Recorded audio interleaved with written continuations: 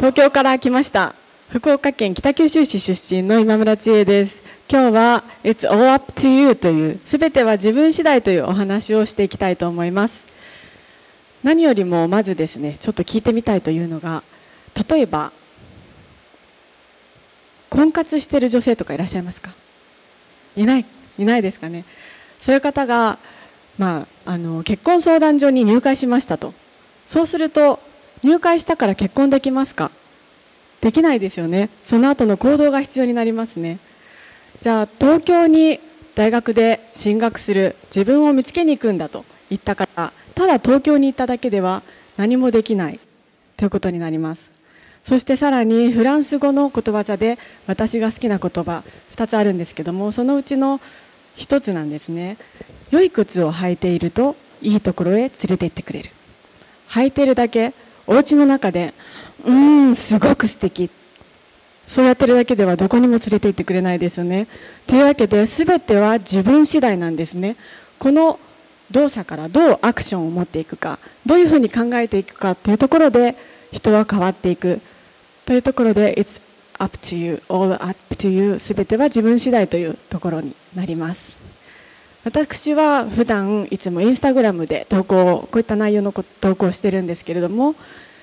全ては自分次第でいろんな考え方で自分が深層心理に持っているものを引き寄せますよといわゆる引き寄せの法則ですけれどもそういったところでメンタル面っていうのが何をするにしても一番大切だよということを説いています。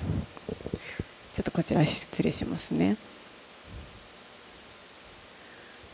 というところで、えー、私、えー、北九州市出身と先ほど言いましたけれどもその後にですね成城大学に進みましてその後大好きな宝石のお仕事に就きました。宝石特にダイヤモンドが大好きです。そしてそのお仕事をしている際に、えー、美容医療に興味を持ち歯科大学に編入してその後自分のクリニックを開設しそしてその当時、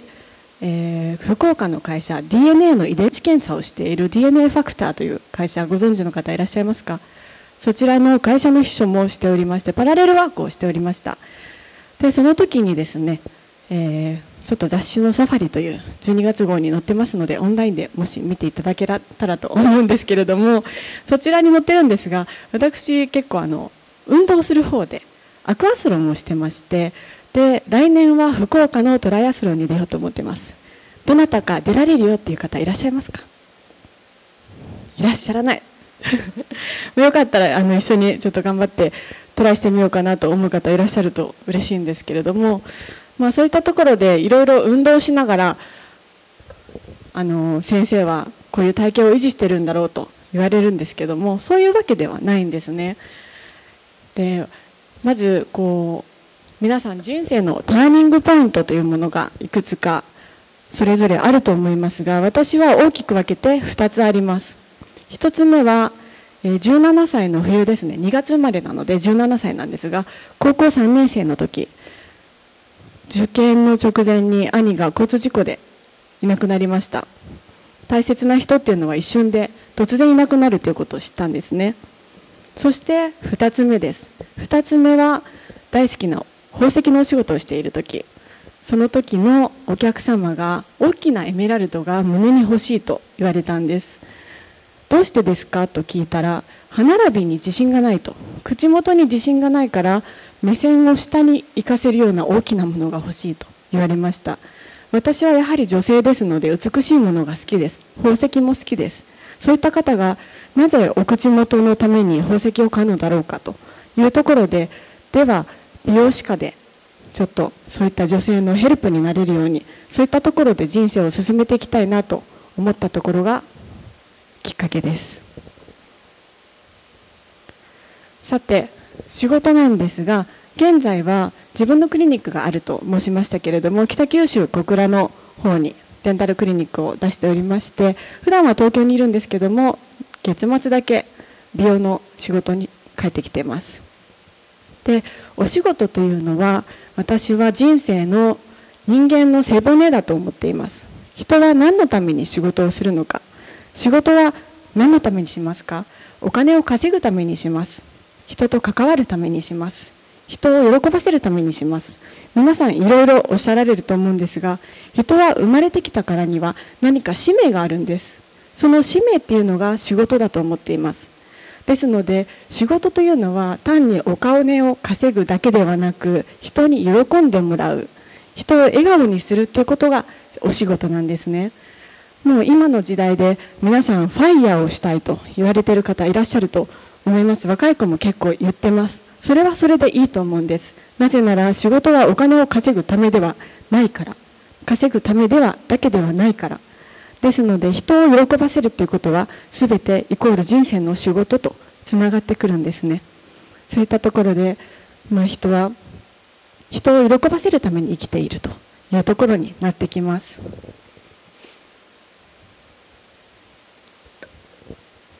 えー、さてですね皆さん何が欲しいですかと質問された時に皆さん幸せになりたいと言われる方が多いと思うんですけどもさて幸せとは何ですかと尋ねた時に幸せって形がないものですよね。そして人のそれぞれの経験や人生観そして年齢それによって幸せというものは変わってくるんです。ですので定型がないものですね。ではその幸せはどうやって感じるのかというところになってくるんですがやはり幸せっていうものは感じるものなのでどこが感じるか脳が感じるものになってきます。ですので脳がどのような状態にあるかによって幸せっていうのは大きく変わってくるんですね。例えば、えー、幸せの幸せ脳を作りましょうという提案をする時があります。幸せ脳とは何ですかと言いますと心が一番穏やかな状態でいられる状態を作っている脳が幸せ脳です。そしてさらにその心を穏やかにするっていうのはどうすればいいんですかとなった時に私がアドバイスするのは手書きメモを使うということです。手書きをするということは前頭前野を使うんですね。現在やはりパソコンとか携帯電話スマートフォンですね。手書きをすることが減ってきました。そうすると東北大学の高加齢医学研究所の所長のデータなんですがそういったものを使っている時っていうのは前頭前野が活性化されないんですね。ですので手書きのメモを使うとこちらの前頭前野が活性化されると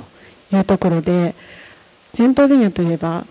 私の大学の先輩が試験前によくこう叩きながら「頑張れ俺の前頭前野」と言ってたんですけども、まあ、そういったことで刺激されてもしねあの活性化されるんだったらいいかなと思うので良い良いんですけれども、まあ、前頭前野は何に関わってるか記憶と学習もちろん関わってます。そして大事なのは感情のコントロールをする最高中枢であるということです。ですので穏やかな脳を作るには前頭前野を活性化させる必要がある。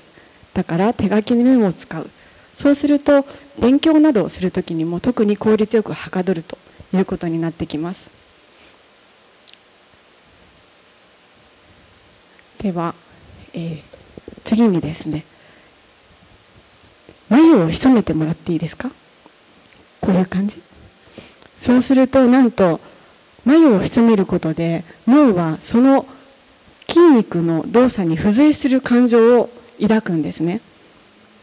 ですので眉を潜めている人にボトックス注射例えば、まあ、ボトックスというのはアラガンの商標ですけどもボツリヌストキシンの注射を打って眉毛に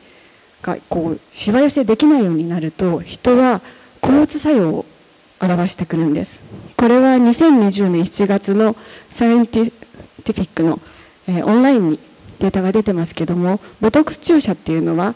そういった感情をコントロールしてくることで人のポジティブな方に持っていける負の感情をコントロール抑えていけるっていうことがあるんですね。ですので笑顔でいるっていうことが一番のポイントになってくるんですね。人は例えばじゃあ今笑顔を作ってみてください。でそしてその顔を隣の人にちょっと見せてもらうと。大体片方の方が笑顔であれば大体笑顔っていうのは連鎖するんです。ですので笑顔でいるっていうことは最大のポジティブエイジングになります。ですので眉を潜められなくなったボトックス注射を打ったそれも良い。だけど一番お金がかからなくて体にいいっていうのは笑顔を作ることです。ですので常に笑顔でいるっていうことがポイントになるんですね。楽しいから笑うんじゃなくて笑うから楽しくなるんです。感情の後に付随してくるものになるのでとにかく楽しくなくても笑っておけば人生ポジティブな方向に行けるということになっています。なので悲しかったりちょっと辛い時っていうのは嫌でも口角だけで上げておいていただければ頭の中の感情はポジティブな方に向かっていきます。というところで、えー、もうすぐ終わりなんですけれども、えー、私が先ほど冒頭の方でダイヤモンドが好きと言ったんですけれどもなぜダイヤモンドが好きかと申しますとダイヤモンドは世界一硬い孤高の宝石と言われています。そして何事も吸収して跳ね返すっていう力がありますね。特にあの私が今こういう美容のお仕事をしていて見た目もちょっと綺麗に見えてで美意識も高い運動もしているそんな方が美しいと思う人って誰ですかって言われるんですがやはり固有名詞を挙げるのはちょっと難しい。でその人の容姿が綺麗だから美しいとは限らない。では美しいって何ですかってそれは表情が綺麗な人だと私は思っています。ですので美しいものっていうのは顔の作りとかそういった形態ではなくて顔の表情仕草言葉遣いあとは気遣いですね。いわゆるあの今ちょうどオリンピックやってますけどもおもてなし精神っていうのがやはり美しいものだと感じております。そして、えー、ダイヤモンドっていうのは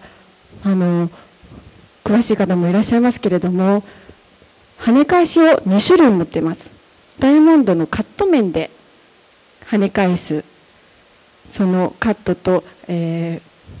反射するものとあとは中に入ってその後に跳ね返す。2種類の跳ね返しがあるんですね。で普通の宝石っていうのはだいたい反射率が4%ほどです。ダイヤモンドは17%ほどあります。ですからダイヤモンドっていうものは負のものを跳ね返す力をすごく持っている。ということは人間の負を例えば嫌な気分になった時とかそういうのもそういったものを吸収せずに跳ね返す。跳ね返せる人っていうものがやはり美しい人だと思っています。ですからどんな人が美しいですか？ダイヤモンドのような人ですという返答になっています。